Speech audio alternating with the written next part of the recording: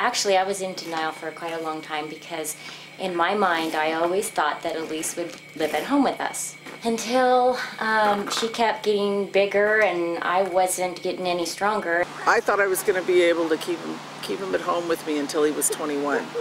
But his behaviors were too aggressive and I couldn't deal with them anymore. I have a chronic disease process, so I, uh, I'm disabled and it's hard to keep up with, which is hard for Kay because I can't do the walks and the physical activity that she enjoys. He'd run out right in front of the house, pull his pants down, and sit down in the middle of the street. And he would not get up for anybody or anything. Sometimes he got mad and then he tried to hit the babysitter, and sometimes he tried to hurt me. But uh, he's bigger than me, and then I I can't take care of him. Grabbing a hold of me and kicking and hitting me and anything and everything that he could think of to express the way he felt because he couldn't communicate. It became sort of difficult to care for her, lifting her in and out of her chair. I almost dropped her one time because I was by myself. My husband was uh, away at a business trip. And I realized that I wasn't really able to do that anymore, and that was putting her at risk. We were all very, very nervous. I mean, it's very scary. But uh, Joe and I are older parents, uh, and uh, it was a matter that how long are you going to be around for them? I'm 65 years old.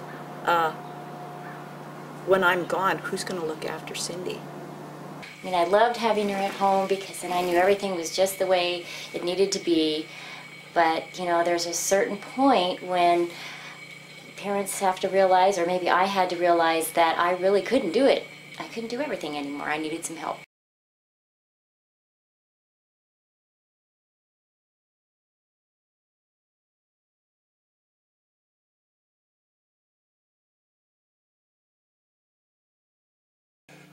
It takes a, a little bit of adjusting to, to, to know that your child is not normal in the sense that she's going to progress at a normal rate, and you want to do everything you can to uh, to to get them moving. For for a while, you hold this uh, belief that if you do enough things, that sooner or later she's going to get past this, and that she'll be uh, uh, functioning at a normal level. Uh, and then after you uh, spend some time with that, you realize that this is going to be a, a lifelong process. So it's, it's, essential that she build herself a kind of a, a support web, so that when we're gone, that she has, uh, she's not totally lost. Well, I mean, the network of support for people with developmental disabilities in our community is looking at the whole person and, and all the supports that individual needs and all the gifts that person brings to our community and how can we help bring out the gifts and support the needs and have that person be, be as valued a member of our community as possible. So there's support for housing and residential op opportunities, there's vocational options, there's recreation activities, there's mental health services, there's support for children and families. Uh, there's actually, there's just a wide array of supports for people with developmental disabilities in our community. Your child has all the same needs as every other child, and they've grown up in your home, they're ready to move on to the next step. You want them to be healthy and safe, you want them to engage in the community, you want all those same things. So the, main options the foster home would be run by a private individual who opens a home to serve people with developmental disabilities um, in a family type of setting. The next level of care after a foster home uh, might be a group home where some of the group homes would form around a, a, particular need that a group of individuals might have. We have medical group homes that would serve the medical needs of individuals with uh, more specialized challenges. They may have nurses on staff, they may have you know, specially trained staff to deal with um, whatever the care needs of that individual are. We also have group homes that specialize in behavioral needs. You know, if someone has unique behavioral challenges, there may be specialized trained staff to address those challenges in the in the home setting. Or we also have generalized group homes that you know, would serve just the general population. Hmm. All right, fish is coming to get me. and then supported living, it'd be people living in the community in their own homes or apartments and the care provider would come to them. That's good. Whether it's a supported living option or a foster home option or a group home option, you're still wanting the same things. You're wanting your child to grow and progress, become independent, and have the supports they need to be healthy and safe.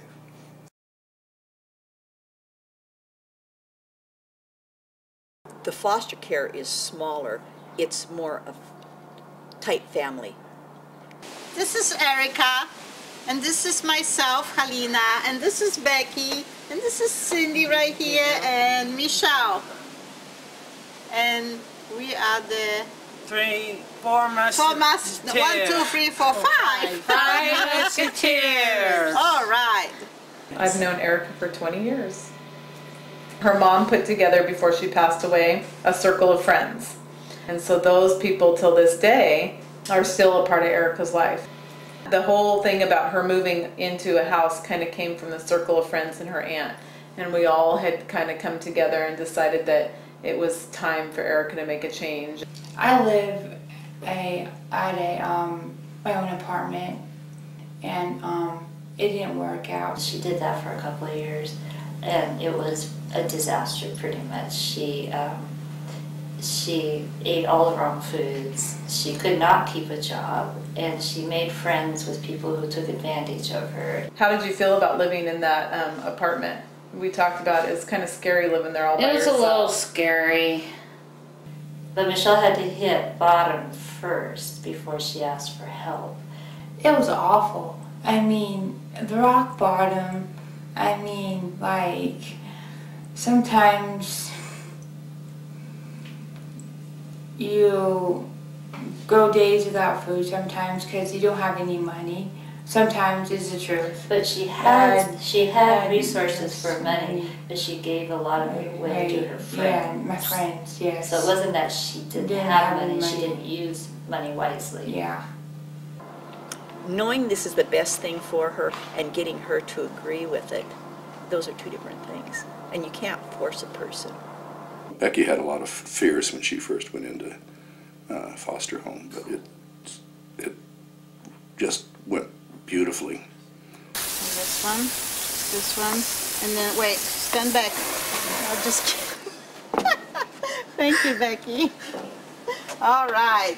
You guys are good helpers. Thanks. You're welcome. Well, this is my friend Cindy right here. She's my best friend.